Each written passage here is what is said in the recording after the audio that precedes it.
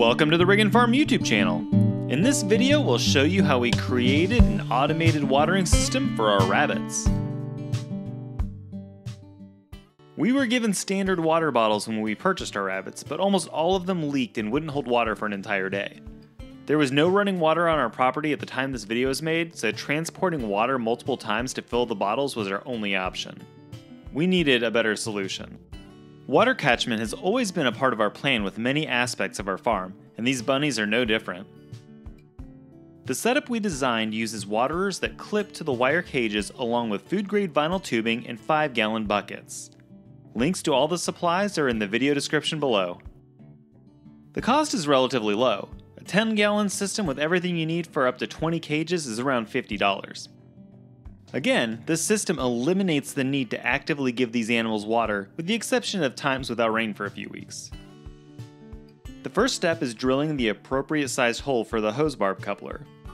Ours is a quarter NPT, which requires a 7 16 inch hole to be drilled.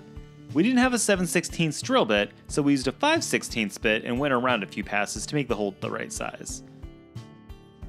An adjustable wrench was used to get it threaded through the bucket. It was a great fit on the outside of the bucket as well as the inside, but it never hurts to add an extra layer of protection in the form of sealant. It's extremely important to use a non toxic variety to prevent chemical contamination that can hurt or kill your animals. Using gloves is a good way to save yourself the trouble of scrubbing caulk off your hands after working on a project like this. We allowed it to cure for a few days before testing and using the buckets. Here it is, all put together.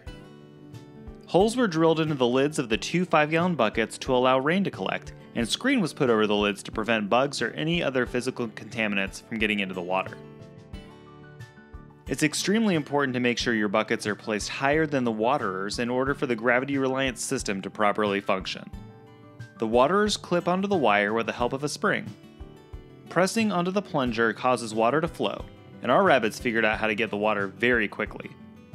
The waterers came with T connectors to create the daisy chain of vinyl tubing. It is absolutely crucial to put hose clamps on the waterers to prevent leaking, but both the T connectors and the hose barb on the buckets were fine without the clamps. This concept is extremely modular.